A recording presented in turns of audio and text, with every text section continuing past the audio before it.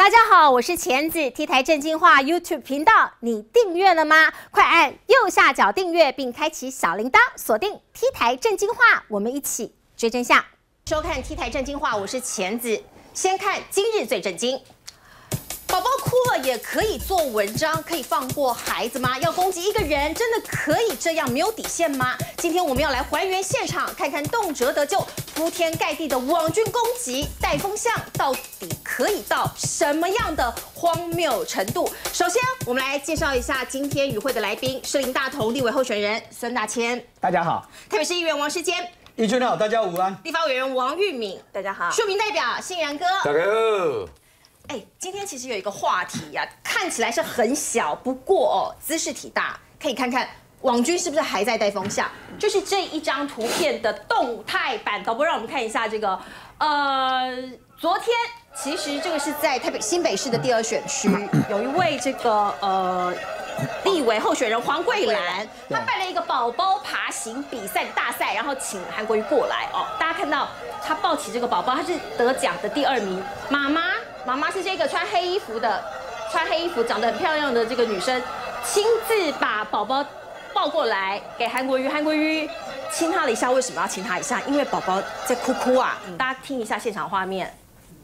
哦，这个妈妈，这个妈妈是因为她得了第二名哦，她在这个竞办这边，她就把这个小朋友抱过来给韩国瑜，因为要颁奖嘛，那给主办方还有给这个颁奖人。抱抱亲亲也是合理的。妈妈看起来还在笑，这个绑马尾、穿黑衣服的是妈妈哦。结果韩国瑜抱完小孩，小孩就在哭了，可能是怕生了，这么小的小朋友。那韩国瑜为了要安抚小孩，在他脸颊上还有额头上亲了一下。哦，不得了了，这个画面哦出来之后铺天盖地，一大堆人说：“哎，你怎么可以这样亲小孩？小孩都已经吓哭了。”甚至还有医生截图，把一个得疱疹的小孩的画面跟这个宝宝放在一起，说：“哎。”不能乱亲的，亲的可能会得这个其他的病毒。玉明委员怎么看？我觉得选举不用选到这样子没有人性哦，特别是小朋友他们办这个爬行比赛，然后是一个很欢乐的场合，就是这样的一个画面而已。这个网军竟然把它操作成这个呃韩国语千不该万不该不可以去亲小孩，然后还把这个就是因为呃大人感冒然后去亲小孩感染病毒这样的照片硬要把它摆在一起，我必须谴责这样子的相关人士哦。其实政治操作真的不要到没有人性的地。一步，你想想看，今天你这样子恶意的炒作，结果炒作到什么？连这个小孩的爸爸都要出来。然后都要说这个对他们已经造成一些的压力，他只是开心的来参加一场活动，然后就是同台，当时韩国也在现场，然后就是报过来，这个就是一韩国是颁奖人，对，这就是一般其实大家会看到的，平常在活动现场最后会有一个拍照的场合，只是因为韩国语到了这个黄桂兰的这个活活动现场，他参加这个活动，然后也顺势，而且是家长主动把小孩子抱过来，这个画面其实是非常的清楚哦。那大家要知道。其实小朋友有分哦，有的孩子就是很不怕生，然然后就是你抱来哦，他也可以笑嘻嘻的。但有些小朋友就是很怕生。其实我有看到那个呃。画面就是当这个小孩子这样子被抱过来，然后还没有交到韩国手上的时候，事实上他就已经开始哭了。就是我我刚刚有看到一个视频是比较清楚的画面，所以表示说这个孩子在这样的一个场合，的确他可是比较怕生，所以谁抱他其实都会哭。那我觉得真的这个绿营的人是不用在那边哭手，然后做文章。那当一个孩子哭的时候，我觉得韩国只是基于说，哎，看到小朋友哭，所以呢会想要去安抚他，所以是不是对他这个稍微亲亲抱抱，然后小朋友的情绪。去得到安抚会好一点，嗯，完全就是这样子的一个情况而已。然后现在把它恶意操作到说，哦，这个韩国语，你有没有先问过小朋友家长的意见？这个很清楚嘛，是小朋友的家长。然后给韩国，不是韩国也看到旁边有小孩，硬把他抢过来抱说来给我，这个是完全相反的。所以今天这个民进党的人士还在说，哎呀，如果是我们蔡总统，因为他们本来第一个是批评说，哎，不可以去抱亲小孩，大家就发现说，啊，蔡总统以前跟小朋友也有抱过来啊。结果他们今天的发言人就说，哎，人家蔡总统一定会问小朋友的意见，看可不可以抱抱。这么小没办法表达意见。对啊，他就用这样子的一个比喻，我觉得其实也非常离谱。今天如果是韩国强行去抱人家的小孩，这当然就是没有尊重到家长，这个你可以骂他。但不是啊，家长很开心的冲过来把小孩子交到他手上。你到底是要批评他什么？然后另外，其实你要批评这个说哦卫不卫生、干不干净的问题。今天这个小孩的爸爸已经讲了，韩国也不是流浪汉，他不是路人甲乙，就是说过来然后就要要去亲去抱他的小孩，根本都不是。那所以在这样的一个情况底下，你看像连这个天主教的教宗，他为了展示对于孩子的这个喜欢，他也会去亲吻孩子，他会去亲吻一些穷人，可就是用这样子来表达，就是他对他的爱。那所以这一件事情，我真的觉得没有那么的严重。连今天其实很多人就问柯批啊，柯批也说，把它搞得太严重了吧？有那么严重吗？所以我认为啦，今天把它无限上纲到说，哦，这个是不是把小朋友拿来当这个工具？我觉得太言过其实，它本身就是一个小朋友的活动。韩国语来参加，不是说今天韩国有一个活动，只是把小孩子抱来当一个样板，对，这是完全不一样的。大家说这个韩国语，他现在提出六六六政策，他不是要消费小孩，这完全是一个很自然的表现。大家说有图有真相，有时候不见得哦。如果只是看一张截图，就是韩国瑜手上抱着娃娃，娃娃哇哇大哭，哎，这是一张照片。那我们刚刚给大家看的，这是一段画面，不过可能还不够完整哦。我知道谢仁哥手上有一些照片是。这个宝宝爬行比赛一开始，小朋友在爬的那个照片，对，因为有人说啊，那个黑衣女不是他的妈妈，但是这张照片可以证明是他的妈妈吗？没有错。那我们看一下那张照片。这一张照片好。呃，这个宝宝爬行比赛哦，是妈妈在终点，然后好像是阿妈或者他的阿姨在起点。阿妈是在起点，我们导播来看一下。哦，阿妈是在起点，妈妈是在终点。嗯，哦。这个有图有真相，照片也都在这边，而且这一场活动是蓝影那边举办，而且这些来参加这个活动的也都是支持哦的我们这个黄桂兰委员哦的。就是以朝你判断了，如果说是你会到一个新北市第二选区黄桂兰的竞选总部去参加爬行宝宝的比赛，应该会是比较偏蓝。朝你判断，至少对蓝营没有厌恶感。那很明显的哈，这个说要政治操作，你看啊，网剧就开始大动作的，还有只是堵拦呐，然后这个网站就开始在发烧了。你看啊，没有经过家长的同意啊，就把小孩子抱起来，哦，还有这个医生啊，他说哦，这个跟虚惊也有关系。我觉得哦，政治如果要操作到这样哦，真的很龌龊。可是我觉得哦，这个好像。如果说政治的操作又不是，好像只是媒体跟网军哦在操作，因为这个那么小的事情还要政治介入，那就太肮脏了。可是为什么这这些特定的媒体啊都会跟网军配合来这样炒作？我怀疑哦，这个。背后有庞大的利益，拢首先讲好啊啦，无想啊拢要哦，在扭曲韩国语、攻击韩国语，拢无讲伊半句好诶，干那讲哦韩国语也无好，个拢迄几台，然后只会在那边带风向，又是那几台，我怀疑合理的怀疑啊，是不是啊？政治这方面有什么庞大的利益在背后使然啊？怀疑盖利安呢？哦，不管用什么方式都可以来，哦，只要能赢，他们都愿意啦，啊。好，我们来看一下 CG 好不好？导播来看一下 CG，呃，这个报韩韩国瑜抱婴儿遭黑又双标了吗？其实网络上啊，很多人其实也挖出蔡总统抱婴儿亲婴儿的照片哦。我们先看一下啦。网络上打脸，难道细菌也分蓝绿吗？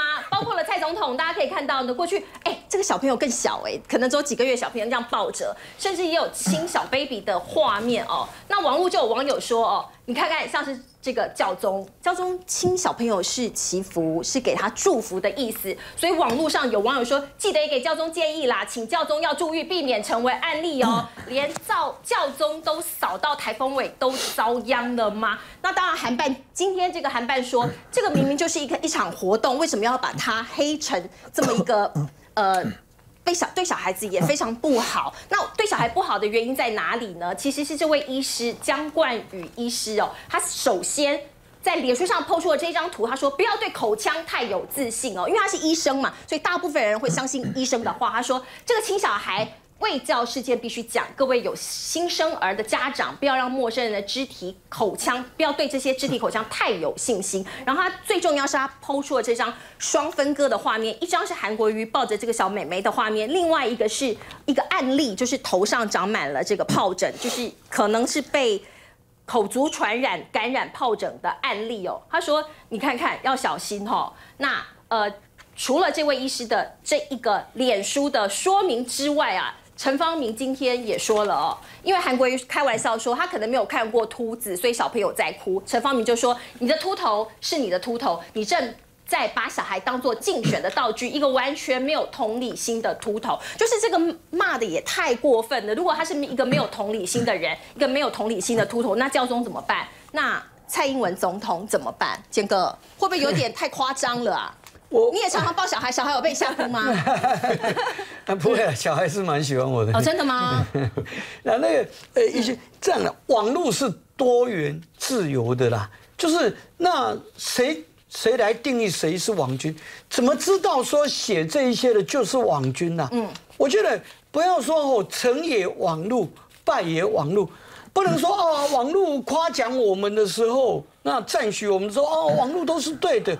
那网络稍微有批评到我们的，就说啊，这个不对，这个是网军。我觉得这样不好。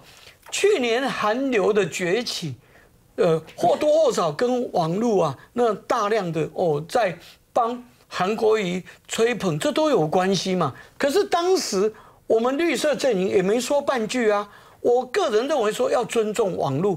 我我个人没有在用网络哦，但是我起码我就是对网络尊重，因为我对网络不了解，我我尊重他，应该是这样才对。那如果像韩国瑜阵营或者我们绿色阵营，大家都有高度在使用网络，这也对的啊，这是未来的趋势。但网络毕竟只是大家沟通的一个平台哦，所以在没有任何证据之下，不要去指 涉说批评我们的啊，他就是网军。那赞美我们的那怎么讲呢？也有赞美韩国，也有赞美小英的啊。那赞美的都是双方的王军喽。所以我觉得基本上这样的紫色是不好。但是我同意的，如果是家长同意的情况下，在那样的活动之下，其实抱抱小孩无妨哦。但是如果是刻意的啦，刻意去制造这样的活动、这样的场景，那找小朋友来只是当布景，这样就不好。不过我记忆所及啦，会利用小朋友来帮自己造势的吼，其实柯文哲是最恶劣的啦。对对对。我我是举这个例子给大家看，像他利用哦，他利用我们台北市教育局跟卫生局办的哦，就是要对幼教、对幼稚园小朋友，还有说故事的时候哦，结果柯文哲去哦，然后带他夫人去，然后讲一些要讲动物的故事，结果拿动物世界来隐喻啊政治斗争等等，像那样就真的不好，那样就真的残害我们国家的幼苗，所以我觉得哦，其实。平常心看待，我们要接受网络的批评哦。那因为相对为什么？因为你也接受网络的赞美，不是吗？哎，坚哥，可是我会想到哦，像你们政治人物啊，你们以后到某些场合，会不会看到小朋友不敢碰，也不敢抱，因为会害怕，是不是？道歉，其实害怕吧。今天我们所面临的状况哦，跟刚才这个坚哥讲的有一点点落差哦。因为今天其实韩国瑜所面临的状况，它不是网络的批评，嗯，它是网络的假新闻，嗯。大家仔细看一下这个新闻当时的整个操作模式，嗯，它就是一个非常标准的网络霸凌的 SOP，嗯，先由特定的网络账号在粉丝团或者在 PTT 上抛出一个讯息，这个讯息并不是真的。但是我要讲的是，我打个岔，那个大千，因为他刚刚讲在特定的网络媒体或是粉专抛一个讯息，这个就是你讲的应该是当然，他说。她自己是这个女婴的妈妈，她说这个婴儿的母亲对这件事情非常生气，因为事前完全没有被告知，小孩就被抱走了，妈妈则被挡在人群后头，发现女儿哭了，冲上去把女儿给抱回来，她非常的生气，妈妈非常的生气哦，而且她也不是韩粉，这个东西一贴出来，很多人都这个讯息讲的栩栩如生，讲的就好像这个当事人就站在现场。是。站在现场看到所有事情发生的过程，可是完全是鬼扯啊！最后家长出来讲的，跟在脸在这个粉丝团上所铺出铺出来的状况，完全是两件事，三百六十度的不一样哎！这完全是颠倒黑白了。我要公开呼吁一下嘛，既然你这么有道德勇气，在粉丝团上敢泼这这篇文章，你就站出来，让我们看看你到底是谁？你有没有在那天活动的现场？你是哪一只眼睛看到了你今天在粉丝团上讲的这些话？这是第一步哦。嗯。第二步，当特定的账号丢出了这个讯息之后，马上就有媒体承接了，马上就有一大堆媒体铺天盖地的开始扩大的渲染、扭曲、推波，用各式各样的方法让大家形成了一个印象，说韩国瑜又做了一件错事。更妙的是，还有一大堆拉拉队三不五时的来插花，不时的在加油添醋。这个时候，这位医生，我不懂他在这个时候就这么凑巧哦。就在这个时候就抛出了这样的讯息，然后还要并列这样的照片，难道你不知道这样的照片并列出来的影射会造成什么样的影响吗？大家仔细看一下这个过程，这个过程跟苏启成处长被害死完全一样雷同啊！有人带风向抛假讯息，有政治人物跟媒体接手，继续的扩大渲染，然后形成了一个特定的印象，然后被设计的当事人从此就蒙受了不白之冤呢，再也没有办法翻身了。今天如果不是因为这个孩子的父母这么有道德勇气，在第一时间站出来把真相讲清楚，甚至不排除要提告，我想韩国瑜恐怕会再被黑一次吧。没错。而且第二我要讲的是，韩国瑜被孩子的议题黑已经不是第一次了。各位还记不记得上一次韩国瑜市长到一个净滩的活动，可能在那个沙滩上，不过跟一个孩子玩，媒体是怎么报的？说韩国瑜市长去抢了人家的玩具，所以那孩子就哭了。最后过了一两天之后，孩子的父亲跳出来说，根本就不是这么回事，来不及了，鬼扯，来不及了。可是有多少人看到事实的真相呢？